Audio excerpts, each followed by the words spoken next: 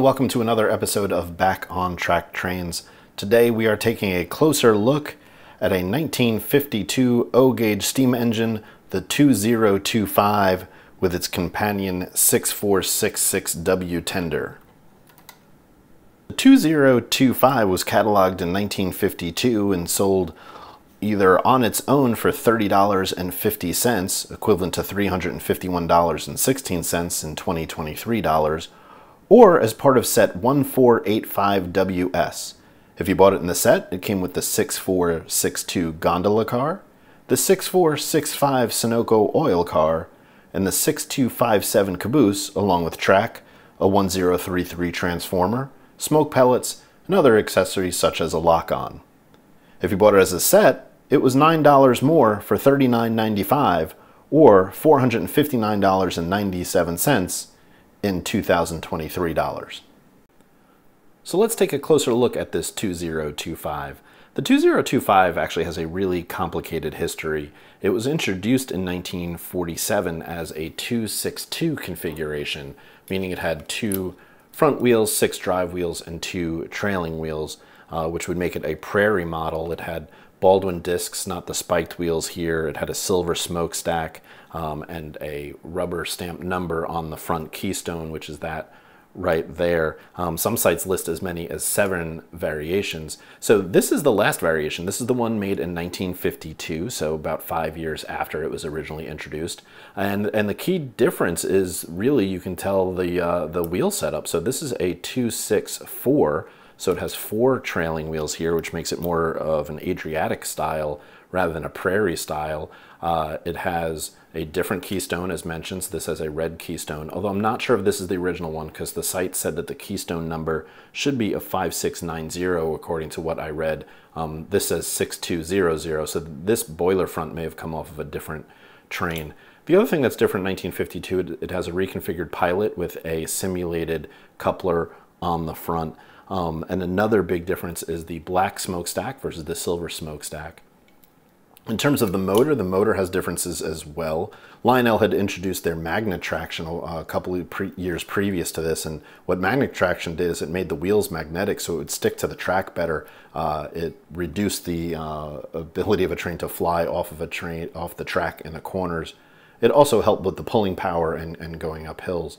But this train was made in 1952 during the Korean War. So magnetic material was at a premium. So these wheels are not magnetic, which also changed the frame of the motor a little bit um, from a different material. So very clearly a 1952 version of the 2025. It comes with its matching tender here. So the tender is a whistle tender. It is a 6466W. Uh, I recently rewired this one, so replaced all these wires, so the whistle is loud and sounds great. It has that nice flare in the back with the simulated coal and the, uh, the coupler here. So really nice setup. One of the things that I like about the 2025 is its size. It's sort of an in-between size, but you don't compromise on the detail. So in the front here, I've got a 2055 that I absolutely love. It's got a lot of detail, but it's clearly longer than the 2025. But the 2025 still has the, the great drive rods and, and all of that detail. It still smokes. It um, still has the, the puffer here. So you get a lot of the detail that you have in a larger engine without um, you know, compromising on size. So if you have a smaller layout, the 2025 might be better than something like the 2055. At the same time, here's a Scout engine in front of it, and Scout engine's much smaller and doesn't have nearly all the detail on the wheels and, and the drive rods and all of that. So the 2025 is just a great option if you have a slightly smaller layout um, and you, you know, want to make those tight 027 curves uh, so the 2025 is a great option for that. This example is in pretty good shape. I went through it, I lubricated it, so it's running, it's, it's reversing as it should. Uh, there's a little bit of oxidation on the, uh, the, the rail that, that runs alongside of it, which would probably be easy to shine up. Um, again, I don't know if that keystone is right. This may be a boiler that belongs on a different train, but in overall really good shape, could probably use a, a little bit more cleaning than even what I did to it, um, but really happy with the way that it runs. It's really smooth. It's actually really quiet. I, lubricated all the wheels, uh, took it apart, cleaned the brushes, cleaned the commutator, and all that, so got it running really well. The tender also went through that, cleaned it, added new wires for the pickups, resoldered all that in there, so it sounds great. Um, this is really clean. Uh, not a lot of problems at all with this. This is just a, a great looking tender um, and would make a great addition to any layout.